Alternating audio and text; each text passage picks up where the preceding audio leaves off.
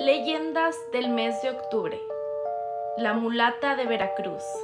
Esta leyenda data de la época de la Inquisición en Veracruz. Cuenta que una mujer mulata era muy admirada por sus dones herbolarios, pero por celos muchas mujeres veracruzanas hicieron correr el rumor de que ella practicaba brujería debido a su herencia africana. Las autoridades del Santo Oficio fueron presionadas por un hombre despechado porque la mulata lo había desairado. La pobre mujer fue acusada de brujería. La llevaron a las mazmorras de San Juan de Ulúa, en el puerto de Veracruz. Allí ella fue sentenciada a morir quemada. Todos los días la mulata dibujaba un barco en la pared, lo que hizo que con tal detalle esta obra en algún punto cobrara vida. Muchos carceleros lo admiraban.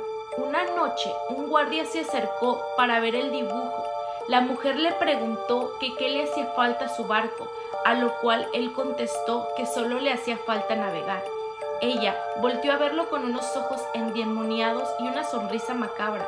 En ese momento ella brincó a la pared y se perdió dentro de la pared junto con el barco. Esta es la leyenda de la mulata de Veracruz.